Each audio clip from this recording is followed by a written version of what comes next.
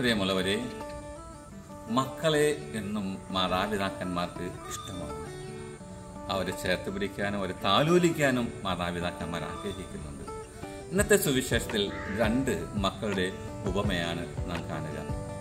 പിതാവ് തന്റെ മൂത്ത മകന്റെ അടുത്ത് ചെന്ന് പറയുകയാണ് മകനെ നീ എനിക്ക് വേണ്ടി ഇന്ന് മുന്തിരിത്തോട്ടത്തിൽ പോയി ജോലി ചെയ്യുക എന്ന്.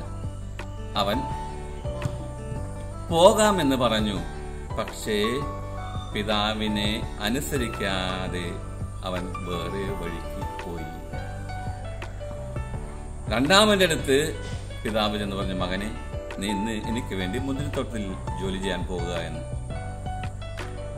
പോകുകയില്ല എന്ന് പിതാവിനെ അവൻ ധിഖരിച്ചു എങ്കിലും പിന്നീട് അവനെ തെറ്റ് മനസ്സിലാക്കി അവൻ അനുദപിച്ച് മുന്തിരിത്തോട്ടത്തിൽ ജോലി ചെയ്യുവാനായി പിതാവിന് വേണ്ടി യശുനാഥൻ പറയുകയാണ് നിങ്ങൾക്ക് മുമ്പേ വേശികളും ചുങ്കക്കാരുമായിരിക്കും ആദ്യം സ്വർഗരാജ്യത്ത് പ്രവേശിക്കുക എന്ന്. കാരണം അവർ തെറ്റു മനസ്സിലാക്കി അനുദപിച്ച് മനസാന്തത്തിന്റെ വഴിയിലൂടെ നീങ്ങി ഇന്ന് നമ്മൾ തെറ്റിന്റെ ഒരു ലോകത്തിലേക്കല്ല നീങ്ങേണ്ടത്.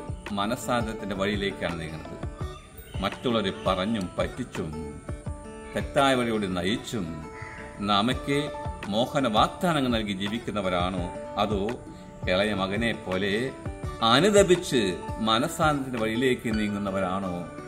ചുങ്കക്കാരും വേശികളുമായിരിക്കും നിങ്ങൾക്ക് മുമ്പേ ദൈവരാജ്യത്തിൽ പ്രവേശിക്കുക എന്ന് പറയുമ്പോൾ നമുക്ക് പശ്ചാത്താപത്തിന്റെ വഴിയാണ് അനുതാപത്തിന്റെ വഴിയാണ് സ്വീകരിക്കരുത്.